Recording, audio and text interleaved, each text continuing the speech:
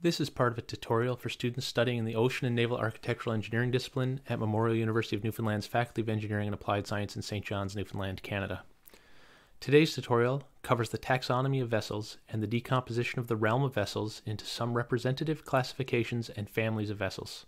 Furthermore, we're also going to look at the nominal definition and purpose of some of the most common classes of vessels you may work with in your career or just see in a large harbor. The objective of today's lecture is to increase your understanding of the way we, as a profession, subdivide ships into archetypal classes, and how we can group ships by their primary underlying functions. A thorough understanding of the types of vessels that are currently in use and their purposes is an essential and often underdeveloped skill for junior naval architects. Early in this course, you'll be asked to think about and propose a vessel design. This raises a whole host of questions. What type of ship do I want to design? What is its mission or purpose?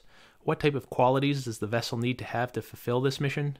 Does it need to have any capabilities for submissions?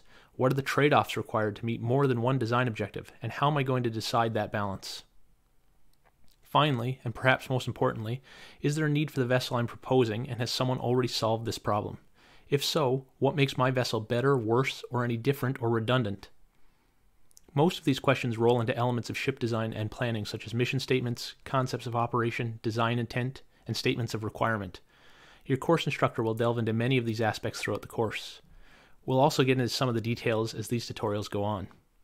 Meanwhile, one of the best ways to understand where to go with your design is to recognize some of the salient features of designs that are already in the operational area you're interested in developing a design for. By the end of today's lecture, you should be able to identify the major categories of marine vehicles, define the purpose of a variety of marine vehicles, and list the number of classes of vessel within each category.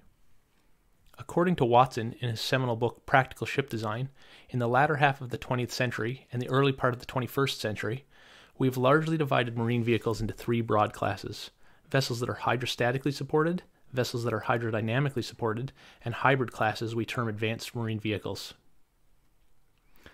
Let's begin our examination by identifying the common order and families of hydrostatic vessels. Hydrostatic vessels comprise monohull and multi-hull vessels.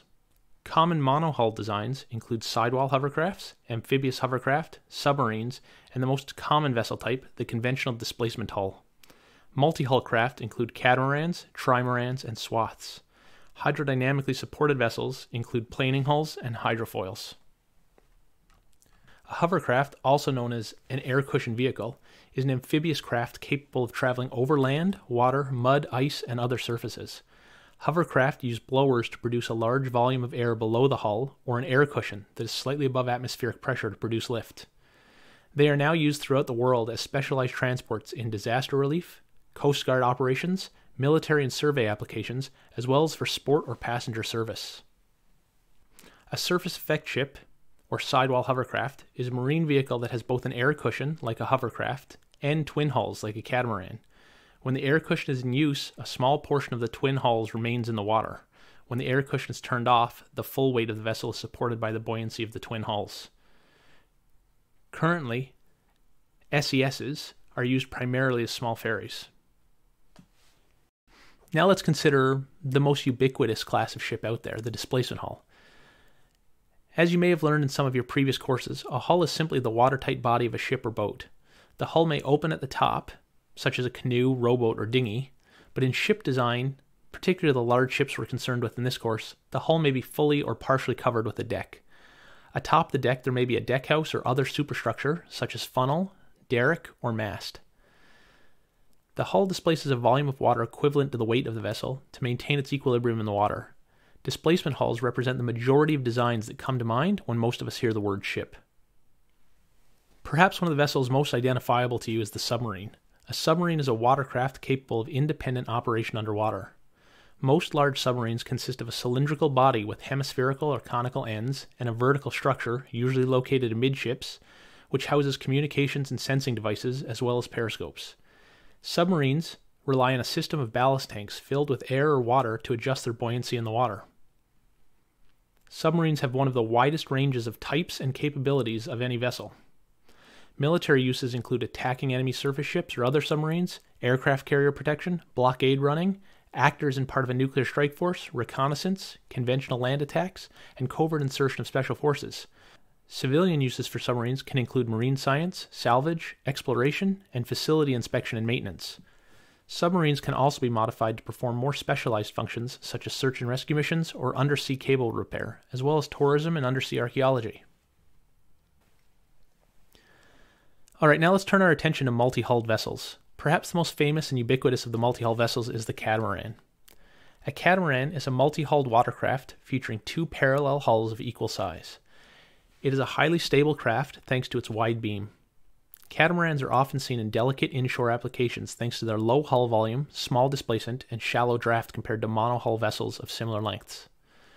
The two hulls combined also often have a smaller hydrodynamic resistance than comparable monohulls, and a strong resistance to both heeling and wave induced motion, making catamarans popular in use for sailing vessels, passenger ferries, and a number of other specialized uses. A trimaran, or double outrigger, is a multi hull boat comprising a main hull and two smaller outrigger hulls, which are attached to the main hull with lateral beams. Most modern trimarans are sailing yachts designed for recreation or racing. However, they are also in use in applications for ferries, warships, and traditional small fleet fishing boat designs in southeastern Asia. A small waterplane area twin hull, better known by the acronym SWATH, is a twin hull ship design that minimizes the hull cross section area at the waterline. As you may recall from your studies in ship dynamics, minimizing the ship's volume near the surface area of the sea minimizes the influence of wave energy, maximizing the vessel's stability. A swath vessel possesses most of the displacement necessary to keep the ship afloat beneath the waves, where it is less affected by wave action. Also, a quick shout out to the swath for being another cool Canadian engineering creation. Okay, let's take a few minutes to introduce hydrodynamically supported vessels. These types of vessels take advantage of the hydrodynamic lift that is generated perpendicular to the oncoming flow direction as a craft passes over water at a sufficient speed. Let's begin by considering the planing hull. Planing hull forms are configured in such a way that they develop positive dynamic pressure and a decreased draft as their speed increases. The dynamic lift reduces the wetted surface area and therefore also the drag on the vessel. They are sometimes flat bottomed, sometimes V bottomed, and more rarely round bilged. You may have commonly seen planing hulls in certain types of high speed sailboats or in motor and jet boats. The last type of vehicle I'm going to introduce today is the hydrofoil. A hydrofoil is a lifting surface, or foil, that operates in water. As a hydrofoil craft gains speed, the hydrofoils lift the boat's hull out of the water, decreasing drag and allowing greater speeds. Hydrofoils had their peak in popularity in the late 60s and early 70s when they were subject to high level experimentation by the Navy. Since then, there's been a steady decline in their use and popularity due to a hydrofoil's sensitivity to impacts and large expense compared to similar catamaran. When they are employed, one of the common applications for hydrofoils is high speed passenger applications. Alright, so to summarize what we've discussed here today, marine vehicles come in an enormous variety of styles and designs for a wide range of applications. However, fundamentally, when we first sight a marine vehicle, we can rapidly assess it as hydrostatically or hydrodynamically supported. From there, the craft can further be classified as a monohull, multi-hull, planing, or hydrofoil design.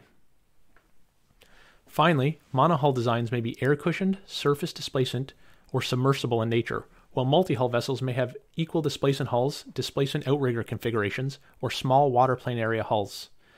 Hydrodynamic designs can be based on foils similar to airplanes, or planing hull design that skim along the surface of the water. Now, before I wrap it up here, a quick cautionary note. This is simply a quick overview of marine vehicles and has been presented in pretty broad strokes. There are all sorts of semantic arguments about other aspects of marine vehicles, such as submarines with multiple hulls, submersibles, ROVs, and offshore structures, as their own categories of advanced marine vehicles, the role of tethered or umbilical structures, etc. What I've presented here today is a classical introduction to some of the typical avenues of ship design, and if you're curious about some of the highly interesting niche categories, you should now have much of the skill and vocabulary necessary to discover those aspects of naval architecture for yourself. In the next tutorial, I'm going to introduce a number of the major platform types and their purposes, and we'll go into some of their unique details. Thanks for watching, and if you have any questions or feedback, please leave them in the comments below, and one of our admins will get back to you. If you like what you're learning here, please hit the like and subscribe button so you can stay informed about what's new and applicable to your studies or learning. We're constantly trying to publish new, innovative content that redefines how students and professionals learn and consolidate their engineering and naval architectural knowledge.